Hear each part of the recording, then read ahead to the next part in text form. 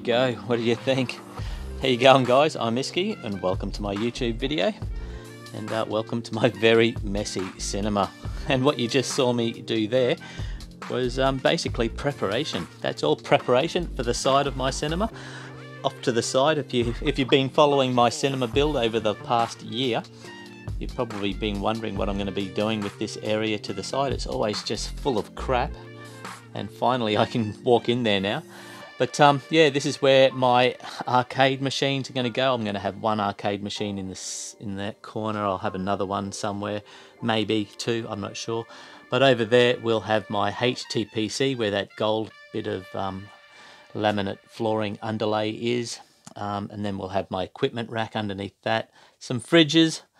Um, in, listen, let me just throw up a photo. Check this photo out. You can see the photo there. You can see my HTPC. That's going to be up the top there and um, and there's a couple of fridges to the side and on the wall just this wall over here um, I'm thinking about putting a 4K TV in landscape mode. I've got I've got a few as well as we'll have some lollies and candy stands and all of that kind of stuff. It's going to look amazing. Um, and what you just saw me do just now in this video was basically um, all of this stuff here. This is insulation, obviously. This area here, I am going to be doing another massive Starfield ceiling over this side as well in the cinema. We're going to be 3D printing the Galactica, the Battlestar Galactica, the Millennium Falcon, as well as the Enterprise um, D, I think, from Star Trek. And we'll be hanging it off the, off the Starfield ceiling, etc.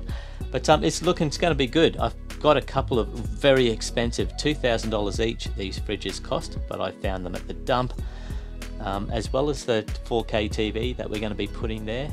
Um, that's going to be awesome. We'll put that in land, uh, uh, portrait mode so we can run some um, some posters, movie posters, etc. Um, off to the side here, where the speaker is going to go. Basically, the plan is that um, that that wall there is going to be built out to probably, I'd say, where that purple is, purple joist starts.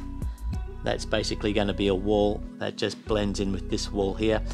And if we have a look on the opposite side of the cinema, can you see my acoustic diffusers over there? Well, I am. That's basically, I'm going to have, like this is all planning stage, remember? uh, that speaker will be inside the wall. So that's basically going to be mirrored on that side of the cinema as well. So it'll look really cool.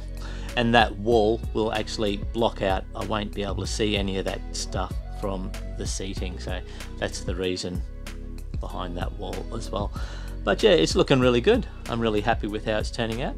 In fact, can you see this rubble, this concrete rubble? I just picked up a bunch of this concrete at the dump that's what they do with a lot, you know, all the concrete people dump at the, you know, at the tip. They, they pound it up and they make these fine kind of granules or they'll make, you know, chunky, chunky rock style. Uh, I just grabbed some of the more fine pieces and I've grabbed that so I can stick that in behind my retaining wall here because I still haven't finished it off.